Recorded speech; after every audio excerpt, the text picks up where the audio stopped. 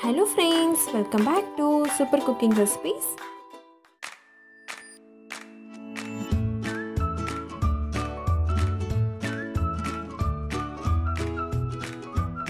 hello friends இன்றைக்கி நம்ம சேனலில் என்ன ரெசிபி பார்க்க போகிறோன்னா ரொம்பவே ஹெல்த்தியான சிம்பிளான கடமான் கிரேவி ரெசிபி எப்படி செய்கிறதா ஃப்ரெண்ட்ஸ் பார்க்க போகிறோம் இது மீன் வகைகளில் இருக்கக்கூடிய ஒரு வெரைட்டி தான். மீன் மார்க்கெட்டில் நம்ம இந்த வெரைட்டியை பார்த்துருப்போம். பட் ஆனால் எப்படி செய்கிறதுன்னு தெரியாமல் வாங்காமல் நிறைய வாட்டி மிஸ் பண்ணியிருப்போம் இது செய்கிறது ரொம்பவே ஈஸி அது மட்டும் இல்லை இதில் முள் எதுவுமே இருக்காது. நம்ம ரொம்பவே ஈஸியாக சாப்பிடலாம். சாப்பிட்றதுக்கு ரொம்ப சிக்கன் சாப்பிட்ற மாதிரி ஃபீல் தான் இருக்கும். ஸோ கண்டிப்பாக வாங்கி ட்ரை பண்ணுங்கள் இது க்ளீன் பண்ணுறது கூட ஈஸி தான். அப்படி இல்லைன்னா நம்ம க்ளீன் பண்ணுற இடத்துலையே கூட க்ளீன் பண்ணி வாங்கிட்டு வந்துடலாம். கடமை வச்சு நம்ம மூணு வெரைட்டியான ரெசிபி பண்ணலாம். கிரேவி பண்ணலாம் கூட்டு செய்யலாம் ஃப்ரை பண்ணலாம். இன்றைக்கி நம்ம இந்த வீடியோவில் எப்படி கிரேவி செய்கிறதா ஃப்ரெண்ட்ஸ் பார்க்க போகிறோம் வாங்க இது எப்படி செய்கிறதுன்னு பார்க்கலாம். கிரேவி செய்கிறதுக்கு கேஸ் ஆன் பண்ணிவிட்டு பேன் வச்சுட்டேன். பேன் கொஞ்சம் ஹீட் ஆனதும் தேவையான அளவுக்கு ஆயில் ஆட் பண்ணிக்கலாம். இப்போ ஆயில் நல்லா ஹீட் ஆகிடுச்சு கடுகு ஆட் பண்ணிடலாம்.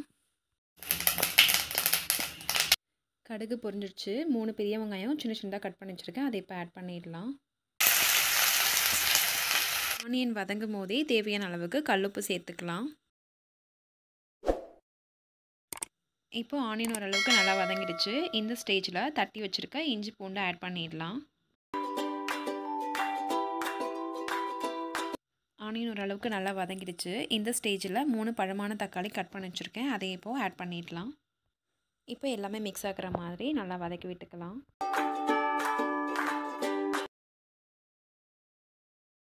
இப்போ கொஞ்சமாக தேவையான அளவுக்கு கருவேப்பிலை ஆட் பண்ணிக்கலாம். இப்போ வெங்காயம் தக்காளி ஓரளவுக்கு நல்லா வதங்கிடுச்சு. இந்த ஸ்டேஜில் க்ளீன் பண்ணி வச்சுருக்க கடமாவை ஆட் பண்ணிடலாம். இப்போ கடமாவை வதக்கி விட்டுக்கலாம். இப்போ ஆஃப் டேபிள் ஸ்பூன் மஞ்சத்தூள் ஆட் பண்ணிக்கலாம். மஞ்சத்தூள் நல்லா மிக்ஸ் ஆகிற மாதிரி நல்லா வதக்கி விட்டுக்கலாம். இந்த ஸ்டேஜில் கேஸை சிம்மில் வச்சுட்டு ஒரு பத்து நிமிஷம் அளவுக்கு மூடி விட்டுடலாம். கடமான ஒரு பத்து நிமிஷம் நல்லா வெந்து தண்ணி விடும். இப்போதைக்கு தண்ணி எதுவும் நம்ம ஆட் பண்ண வேண்டாம். ஒரு பத்து நிமிஷம் கழித்து பார்க்கலாம் இப்போ பத்து நிமிஷம் ஆயிடுச்சு. ஓப்பன் பண்ணி பார்க்கலாம் இப்போ பாருங்கள் கடமா நல்லா வதங்கி இவ்வளோ தண்ணி விட்டுருக்கு.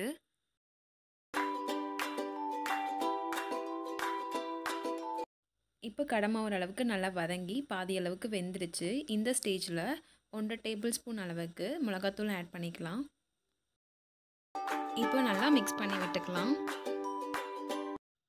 ஏற்கனவே கடமை நல்லா வதங்கி தண்ணி விட்டுருக்கு. இப்போ பாதி டம்ளர் அளவுக்கு மட்டும் தண்ணி ஆட் பண்ணிக்கலாம். கிரேவி திக்காக வேணும் அப்படின்னா பாதி டம்ளர் அளவுக்கு போதுமானது. இன்னும் எக்ஸ்ட்ரா வேணும். கிரேவி கொஞ்சம் தண்ணியாக வேணும்னா கூட கொஞ்சம் ஆட் பண்ணிக்கலாம். இப்போ இதை நல்லா மிக்ஸ் பண்ணி விட்டுட்டு மூடி விட்டுடலாம். ஒரு ஃபிஃப்டீன் மினிட்ஸ் கழித்து ஓப்பன் பண்ணி பார்க்கலாம்.